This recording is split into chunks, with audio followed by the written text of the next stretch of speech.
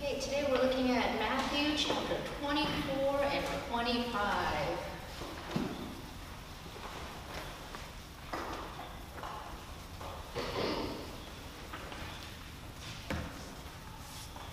We're going to do this a little bit backwards. um, Because it made more sense to me that way. Uh, Let's read a little bit from Matthew 24 first. Um, And we're going to read a longer passage. It's going to be Matthew 24 verses 45. Actually, let's read from verse 36 to 46, so 10 verses. Let's, let's try to read together. But of that day and hour no one knows, not even the angels of heaven, but my Father only. But as the days of Noah were, so also will be the coming of the Son of Man be. For as in the days before the flood, they were eating and drinking, marrying and giving in marriage, until the day that Noah entered the ark, and did not know until the flood came and took them all away, so also will be the coming of the Son of Man be. Then two men will be in the field, one will be taken and the other left. Two men will be grind, woman will be grinding at the mill, one will be taken and the other left. Watch therefore, for you do not know what the hour your Lord is coming. But know this, that if the master of the house had known what hour the thief would come, he would have watched and not allowed his house to be. Therefore, you also be ready, for the Man is coming at an hour you do not expect. Who then is a faithful and wise servant, whom his master made ruler over the household to give them food in due season? Blessed is that servant whom his master, when he comes, will find so doing. This is a passage here, and we're not going to go through the whole of Matthew chapter 24 when Jesus is teaching his disciples what happens in the end times. And admittedly, I don't have a lot of answers for a lot of a lot that he says before that. And Jesus is, but there is one thing that Jesus is telling us, and he's telling us that guess what? This world will come to a conclusion. This world, and I think anyone who's looked around just at the state, even the physical state of the earth, it is deteriorating. It is deteriorating. There may not be enough land to grow food to feed all the people that this world contains. We may eventually face water shortages. There, it's just, if you look at it scientifically even, the world is coming to a slow grinding halt. It will end, and Jesus is telling us that he is returning. We do not know when he is returning, and I think that's really the crux of chapter 24 in Matthew. We don't know. It's going to be a time, and he describes it, it's going to be a time like in the days of Noah. Now, what happened in the days of Noah? It was just like every other day, is what he's saying. People were getting married. We know people who got married. There's two of them right here. People were, they were buying and selling. They were going about their business. And he says, you know what? If you had known when the thief would come, you would have prepared for it, right? You would have done things. Had you known that there would be a thief, then you probably wouldn't have gone on leaving the doors open or the windows open, or even you would have put in extra locks, you would have put in extra measures to make sure that your house is secure. But the whole point is you don't know, and so you should always be ready. And then he goes into chapter 25 and he gives, well, part of 24, at the end of 24 and 25, he gives these four little vignettes about what does it mean to be ready. And so I think even more significantly than when is Jesus going to return? And that even more significantly that, guess what? You're not going to know. We went to uh, Berkeley, I think, two weeks ago. You know, a guy with a Bible shouting out there. And he has a whiteboard and a sign that says 72 days. 72 days until what? He doesn't even tell us. I think he's talking about the end, right? 72 days left. The Bible tells us you don't know that. It'd be the irony of all ironies if you were right. I'm pretty sure that he's not going to be right just to, you know. But you don't know, and that's all that Jesus says. But what he does want us to focus on and what he does want us to know is there's a way that you can prepare for it. There's a way that you won't be caught off guard. There's a way that the thief is going to come in and you're going to be ready. Nothing will be taken from you. And I'm going to start with the very last one, and that is in chapter 25, verses 31 to 46.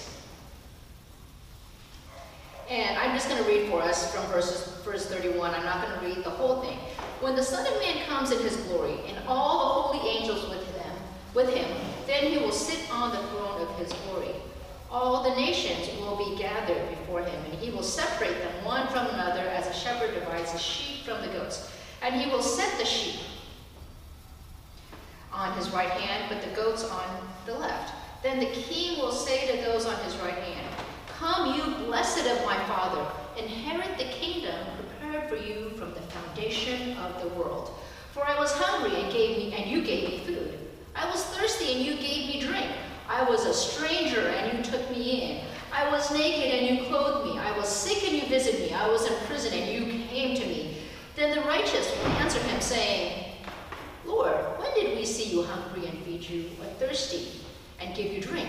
When did we see you a stranger and take you in, or naked and clothe you? And when did you, we see you sick or in prison and come to you?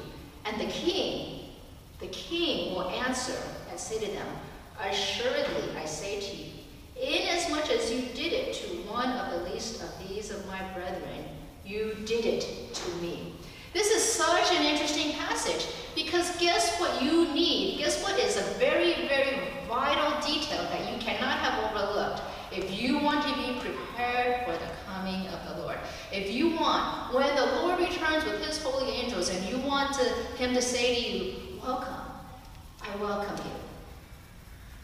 The, the detail that we cannot overlook, as seen here, and as seen, and I haven't counted it, I haven't run the stats, in many, many of Jesus' parables is it's about how we treat one another. It is about with what attitude do we look at others. And a lot of people are going to look at this passage and they're going to say, well, I feed the homeless, I do this, this, this, and that. I'm going to say that's actually maybe even easier than what Jesus is calling us to do here. He says, I'm going to find the verse.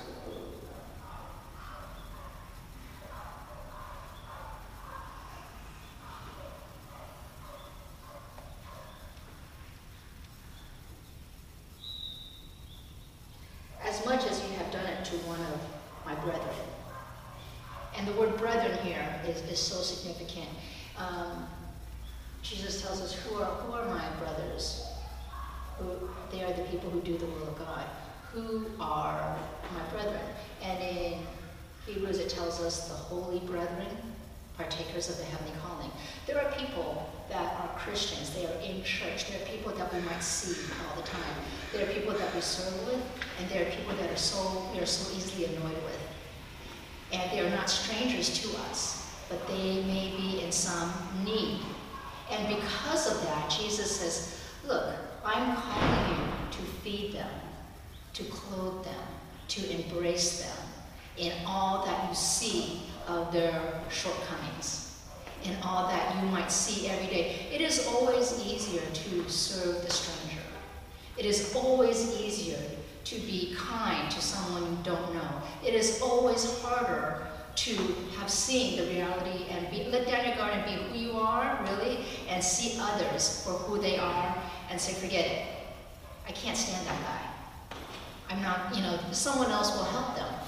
And Jesus is calling us in this. He says, you know what? If you want to be ready, when I was hungry, give me food. When I was thirsty, you gave me drink. When I was a stranger, you took me in. And it's so important to Jesus how we treat each other, no? And a lot of you might think, well, okay, look, I have never once, well, maybe once or twice. I'm not going to use hunger for Jonathan because we see him hungry like, you know, he's always hungry, right? But when have, when have you ever seen Peter hungry? I've never seen Peter hungry. When have you seen any of us in need of clothing? When were any of us ever in prison? Just about never, I would dare to say, right? But do we see, Jesus is looking at the principle here, what are the eyes that we look at each other with? Do we see the need in our brothers and sisters? Do we see, you know, when, when I think of naked, sometimes you're naked physically as someone, there are those out there, very few in our community, who need clothing. they have a lack of clothing. But do you ever see um, your brothers and sisters, and something bad has happened and they are naked before the world, they're put to shame? You know what I mean? And the temptation is saying, hey, you know, wow, look at them, look, mm, look at look at what happened there. And it's exposed even more. Or do we cover that? Do we cover that with our words, with the way we treat them? Do we still embrace them? Have you ever seen, have you ever seen those of us around hungry, in need? Maybe we need love and support. Maybe, you know, prison is always the one that gets me because have you ever spoken to someone who is so angry about something and bitter about something? And it's always easy to say and go down. You know, being negative is so easy, right?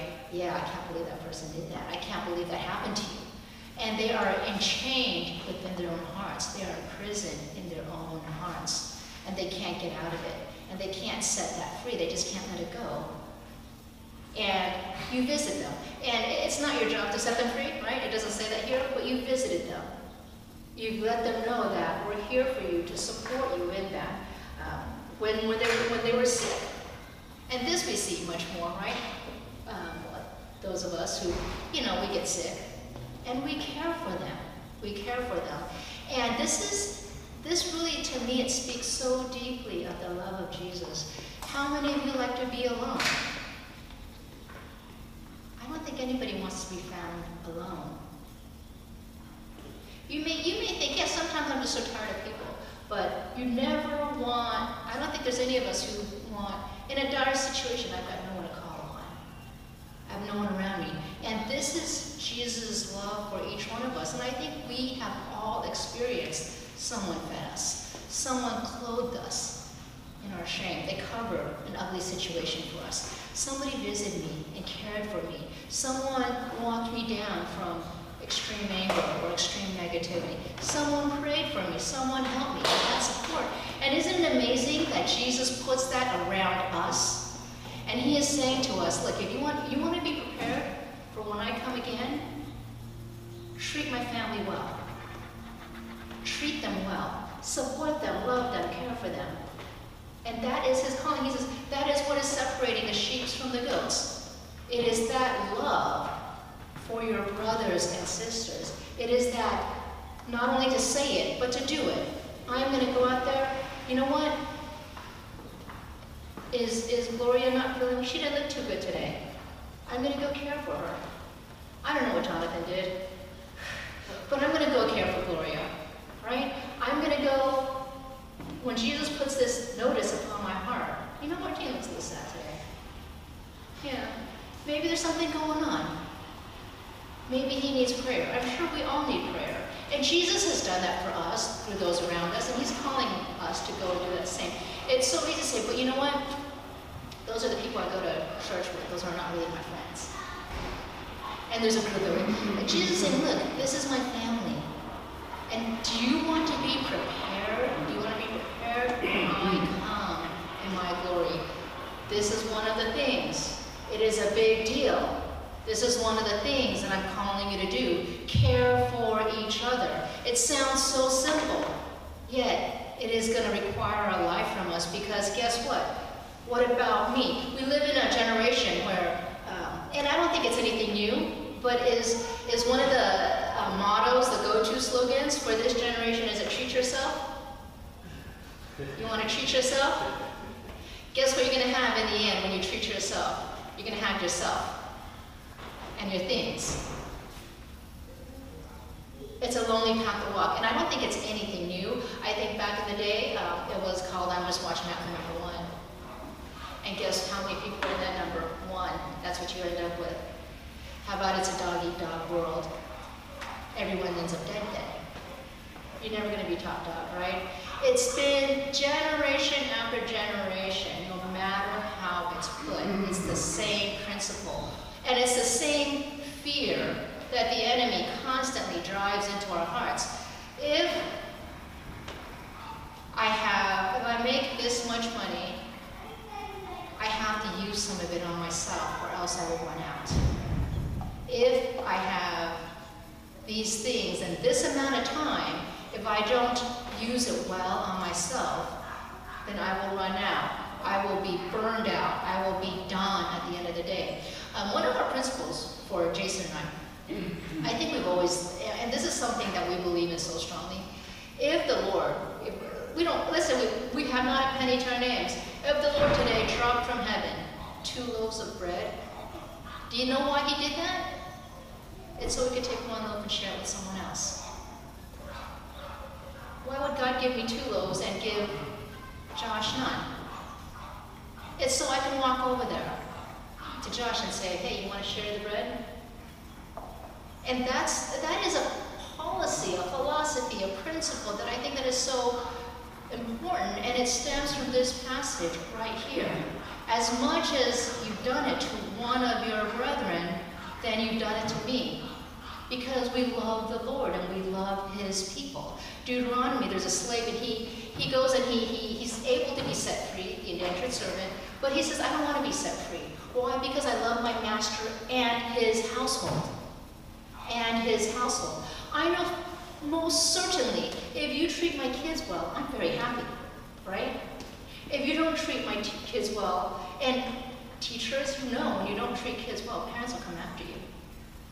They will, they will come after you with all they got because it is an extension of who they are.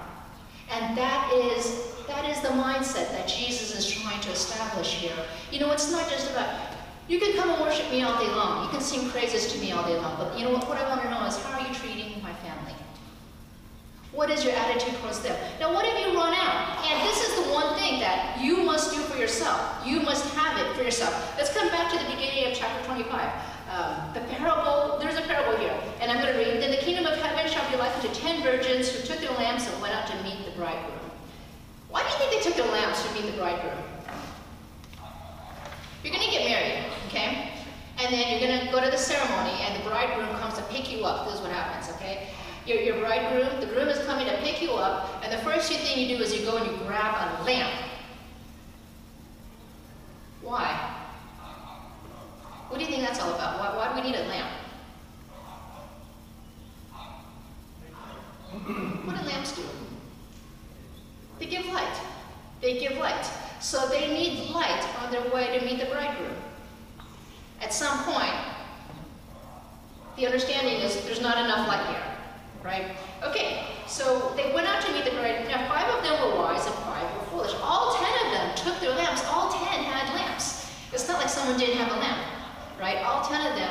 Um, uh, we, we, were just up at camp, and uh, you know, when I was up there even earlier, so there's a there's a meeting house for kids, and they call it the lodge, and and then there's our cabins. And between the meeting house and my cabin, there's like a narrow stretch of path, a little dirt road, and it can maybe fit, I don't know, three or four people across. But, and for some reason it takes a little curve, and if you don't have a light, I always felt like I was just gonna, I always, you know, I, I didn't need a really bright light because the cabin's not too far, and I can use my phone light, and I, you know, I always forgot to bring a flashlight with me. But you could just walk off into the woods, like kind of fall down the little gully, you know, little hill. You need a light because it's pretty dark out there. The stars aren't really enough to give you any guidance for light, right? Okay, so they took the lamps, they all had them. Those who were foolish took their lamps and took no oil with them. This is like how many of you have been a place you need a flashlight and you found out the flashlight you have with you didn't have batteries? Has this happened to anyone ever? Or is it just me? It's happened to me like all the time. You know, you turn it on and you find out this flashlight has no battery. So let's just, let's just go with that, okay? They took their flashlights, they all knew to bring them, but some of them did not have fresh batteries in their flashlight, okay? But the wise took oil in their vessels with their lamps. In that little flashlight, they had fresh batteries. And at mid-end, but while the bridegroom was delayed, they all slumbered and slept. Okay, so they kind of knew this was going to happen, I think, right? He went away to do something. He, he didn't come back on time necessarily. There was a time where they're sleeping. Okay? And they're sleeping, and it's nighttime is the assumption, and then that's when you might really need light to go somewhere. And at midnight, a cry was heard, Behold, the bridegroom is coming. Go out to meet him. Okay, so now they have to leave the place they are, the cabin, the tent, the lodge, the hut, whatever it is in that day, and they're gonna go out into this road where there's no, there's no street lights at that time, right? You have to have your own light. You need some guidance. There's five of them. It works. They have a lamp. They have a light. Five of them are like, we had no oil in our lamps. And the foolish said to the wise, give us some oil, for our lamps are going out. It wasn't that they weren't lit. They were going out. It was going to last. They understood that I'm not going to get all the way there. It's nighttime. I'm not going to get all the way there. And while they, and the wise answered, saying, No, yes, there should be not enough for us and you, but rather go to those who sell and buy for yourself. I don't know where, where are they going to buy this in the middle of the night. And the idea is this oil has to be bought. You have to give up something. Something needs to be given up. This oil has to be bought. And while they went to buy, and so they did it. In the middle of the night, they're going to go buy some oil. And while they went to buy it, the bridegroom came, and those who were ready went in with him to the wedding, and the door was shut. So here they're going out, okay, and the bride, the bridegroom is not static. He's walking too, right? And he's coming towards them. And so as they go to buy this oil, they are left outside. And this is the one thing, the first thing, you know, Jesus mentions you gotta do, you have to have this for yourself. It's not something you can share with someone else. And what is the oil in that lamp? And I dare say that it is the oil of the Holy Spirit. Again and again, the Bible tells us it is the Holy Spirit. How can you, how can you look at people who are sad and say, look, I'm going to go talk to them? How can you look at people who may, may or may not have physical needs and say, you know what, I'm going to try to help them in this? You are going to be, yeah, you will be burned out because guess what? There's not enough oil in there. And you need to constantly replenish that oil. And I would dare say that it is not just to meet the needs of others, but for your relationship with Jesus here, for your relationship with Jesus, to meet the bridegroom. And he is delayed now, is he not? We don't know when Jesus will hmm. return. We don't know. But do we have oil in our lamps, or are we left really in the dark, just trying to plod along, making sure that we don't fall off? We're, you know, at the last minute, we're going to say, um, how many of you have had a final that you never studied for? And the night before, you open up a textbook, and you're like, I'm just going to learn everything there is to learn tonight, right now, for an 8 a.m. final. It's probably not the best practice.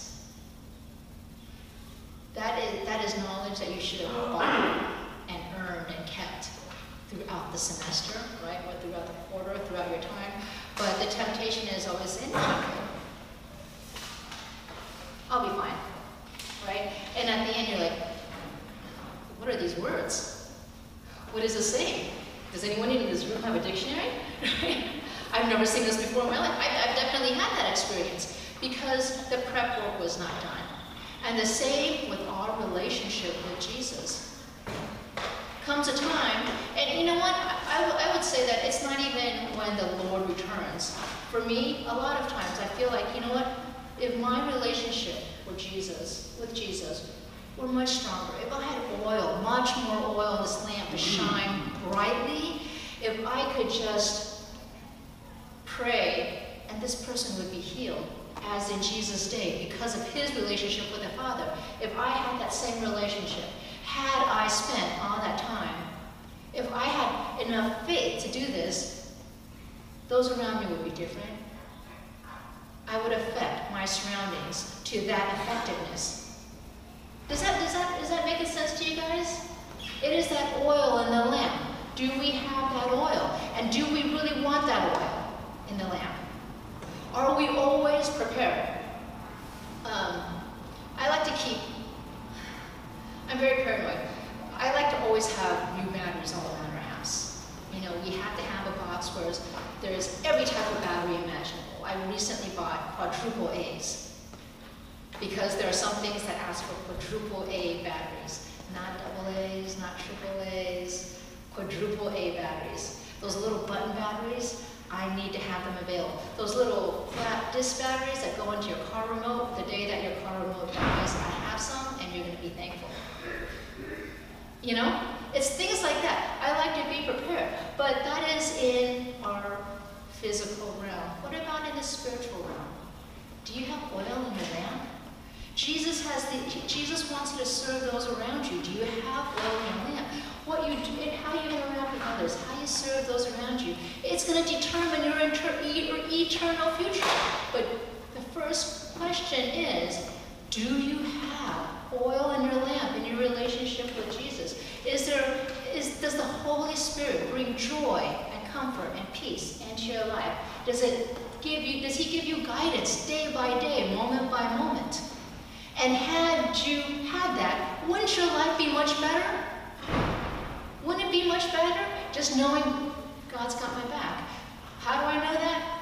Not only because His Word tells me, but the Holy Spirit, moment by moment, speaks to me and confirms that to me. Wouldn't that be amazing? It would be something different.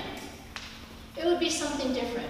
When I'm worried, or when I'm a little bit sad, or when I, you know, I tend to be a little more cynical and negative than probably most people. When I have that kind of perspective on things, but the Holy Spirit shows me Jesus within that situation. When I have a different outlook in life, when it all come together and be much more lucid. Now we come to the, um, the, the two passage, the two passages, the one with the talents, okay, the one before that in chapter 24, who then is a faithful and wise servant whom his master made rule over his household to give them food in due season. Now there's a servant, and all of this, you'll notice Jesus is talking about interaction with other people. How do you be prepared for his coming? It's how you interact with other people. Who is the faithful and wise servant? And I don't know how faithful and wise you have to be to know not to beat your fellow servants and deny them food. But do we beat our fellow servants? Maybe not physically. Do we complain about them?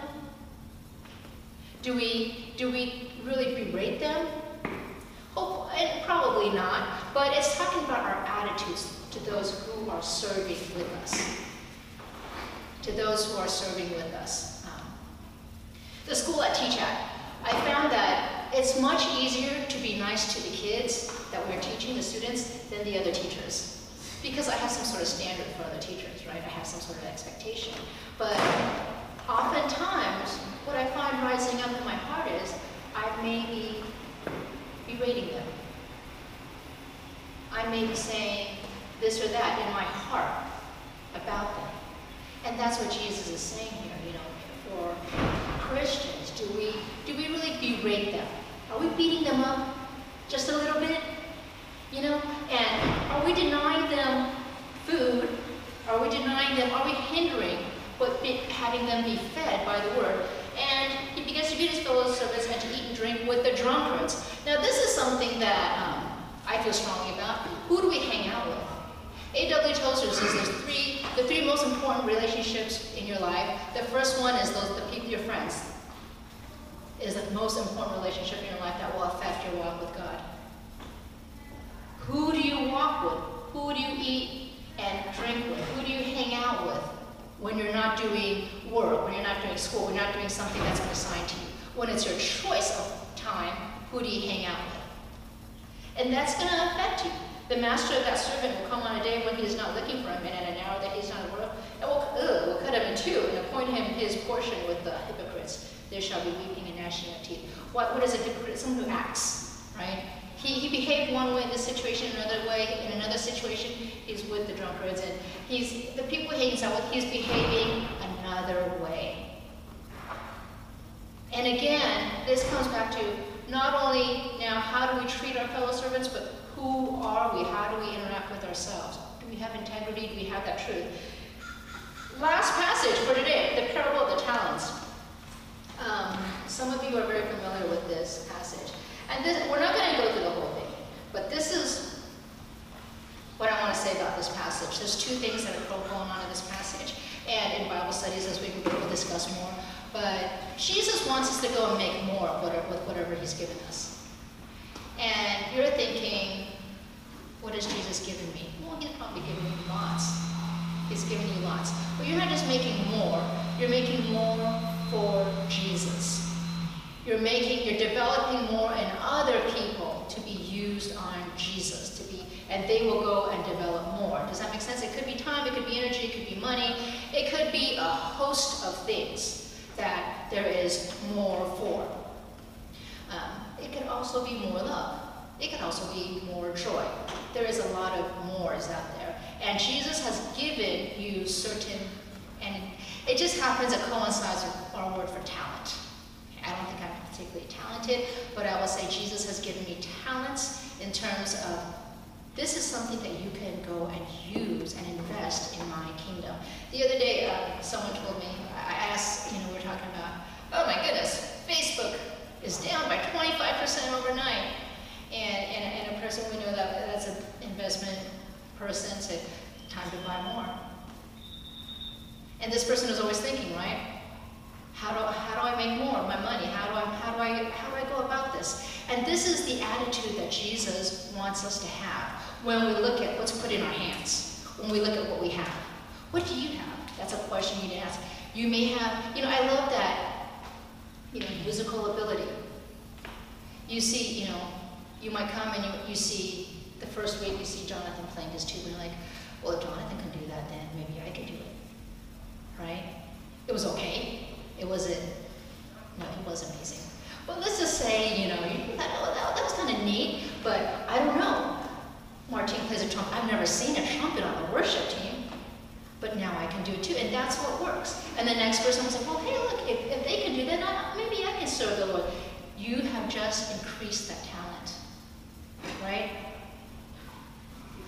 Um, I'm not good at writing little notes and cards, some people. You've increased it. And this is a very basic understanding of what does it mean to increase that talent. But now there's one guy, he says, I'm gonna go, I'm not gonna, I'm gonna, I'm not gonna do anything. I'm not gonna increase it.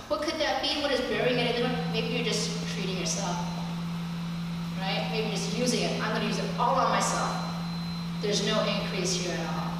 But I do have some nice socks. Right? I do have some nice things. You've used it all on yourself. Or maybe you've literally just done nothing with it. Every day you come in, you go out, you, you go about your business and life. You do. You've never shared about Jesus. Nothing. Again, that would be you've just taken it and you've swallowed it. You've put it in there. There's no more. And why is that? One of the things that Jesus berates this guy for is he says, look, I was afraid to use it because you're so mean, and I was afraid that I'd lose it. You know, I'd afraid that once I spent it, it would be wasted.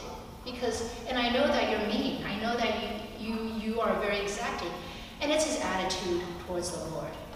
Do we believe that the Lord will give us more? Do we believe that when he calls us to spend, it's not a waste?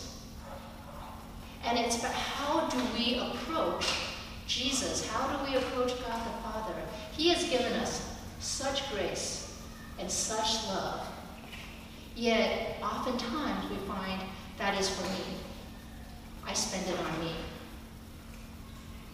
And, and so Jesus, and I'm going to wrap this up. Jesus is saying, look, this, this, what I'm looking for when I come back is the person who cares about, who loves me and loves my family the person who is going to go out and he understands my heart, and it is a heart to share, to share all the good things that I've given you, to really spread it and to say, look, I'm not going to run out. It is the person also who cares enough about meeting me, and they're going to have oil in that lamp. Um, and as we continue today for our breaking of bread, you know, Give that thanks to the Lord. Because if, you, if someone's going to hear, well, you know what?